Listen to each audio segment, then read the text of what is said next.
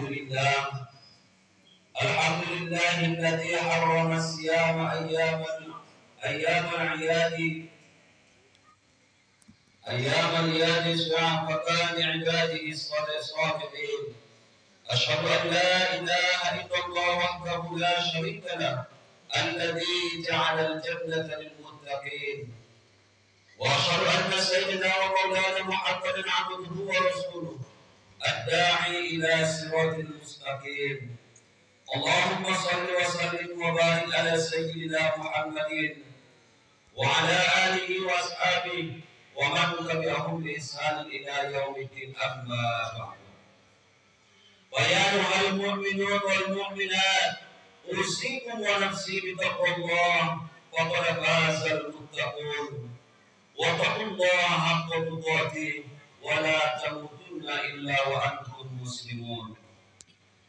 قال الله تعالى وقضى ربك ألا تعبدوا إلا إياه وبالوالدين إحسانا.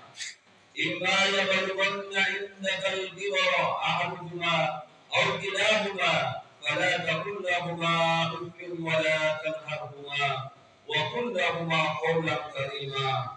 واخفض لهما جناح الذل من الرحمة وقل رب ارحمهما كما ربياني صغيرا معاشر المسلمين والمسلمات رحمكم الله الحمد لله segala puji hanya milik Allah Subhanahu wa taala Tuhan yang menciptakan alam Tuhan yang memberikan beribu-ribu kenikmatan yang luar biasa kepada kita semua salah satunya adalah kenikmatan kita bisa bertemu dengan hari yang mulia hari kemenangan yaitu hari Idul Fitri yang suci 1445 Hijriah.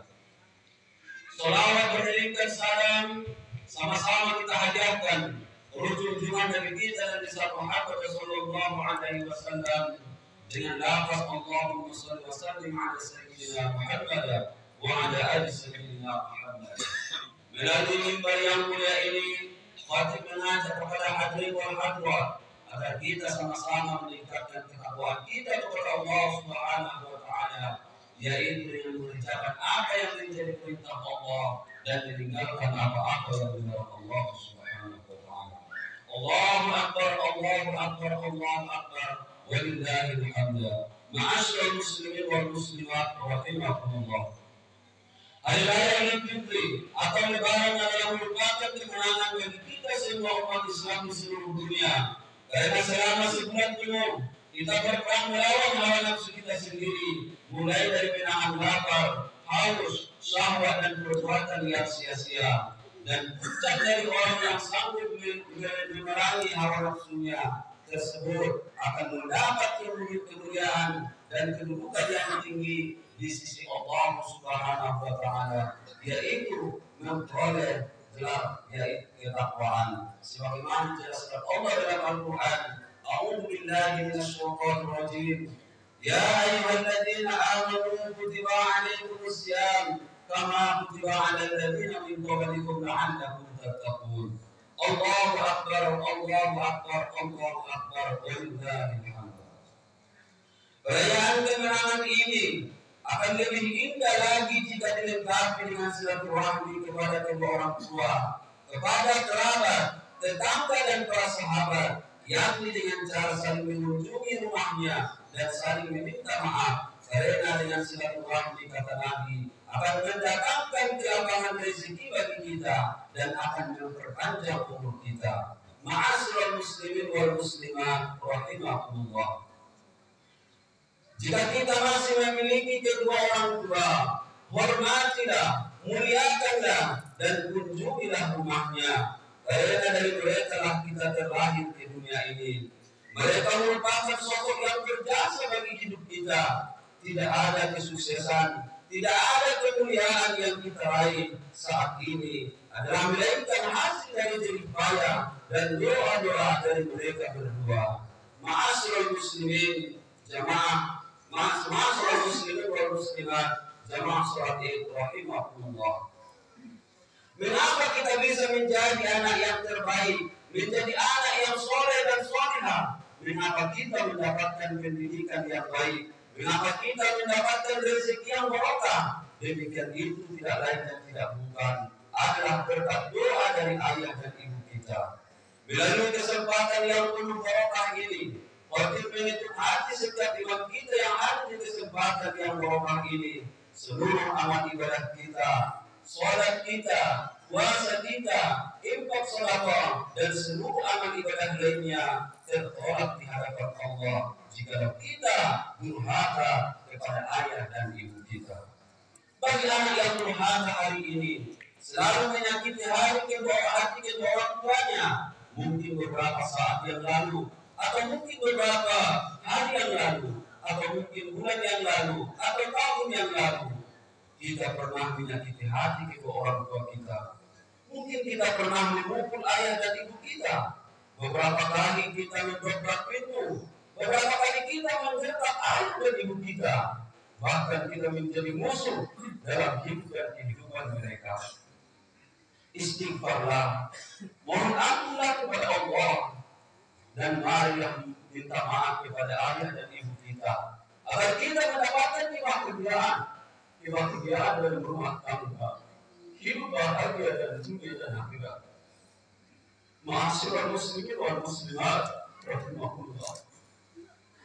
Mari kita kembali melihat dan mengenal seluruh perjuangan ayah ibu kita. Semua hadirin tataplah wajah dan ibunya masing-masing.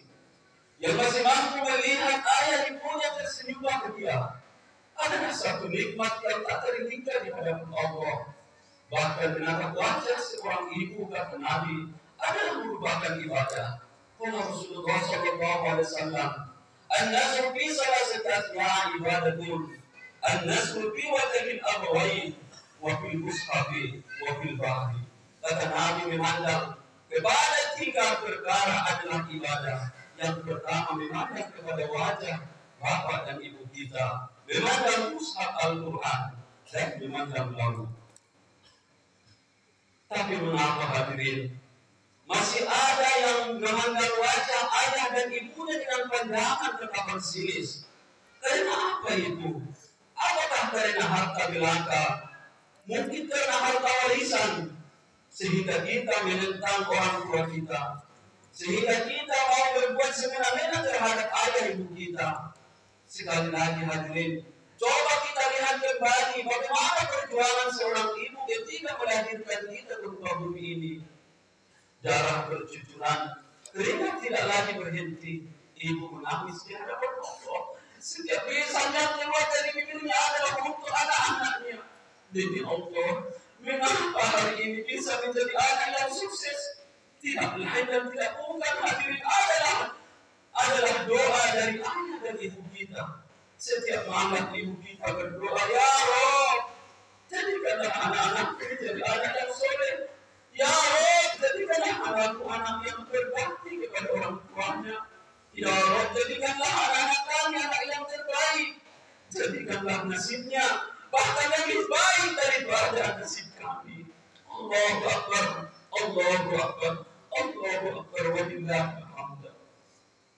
Hadirin yang dirahmati Allah, demi Allah saat ini dikala kita sukses dan kita sudah mendapatkan harta yang layak setelah kita menjadi anak yang terbaik menurut ibu kita. Gimana semua anak-anaknya itu? Terkadang setelah kita sukses, kita tinggalkan mereka. Kita lupa kepada ayah dan ibu kita. Jika ayah dan ibu kita kaya, jika ayah dan ibu kita kaya, anaknya menjadi raja. Tapi terkadang jika anaknya sudah sukses, terkadang orang tua kita sia-siakan.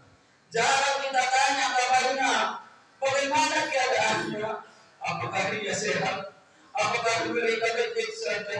Kalimat ini sangat dia rindukan terucap dari mulut anak-anaknya. Sebagai anak ibu bapak kita dulu sangat rindu. Sangat tentang bagaimana keadaan kita sewaktu kita masih kecil dulu. Istighfarlah, minta ampun kepada Allah dan bangunlah kita maaf kepada ibu bapak kita. Tataplah wajah ibumu kata Nabi dengan tetapan kasih sayang. Maka siapa anak yang menatap wajah ayah ibunya dengan tetapan kasih sayang, maka pahala yang terbesar baginya tidak lain dan tidak bukan adalah haji yang mabrur.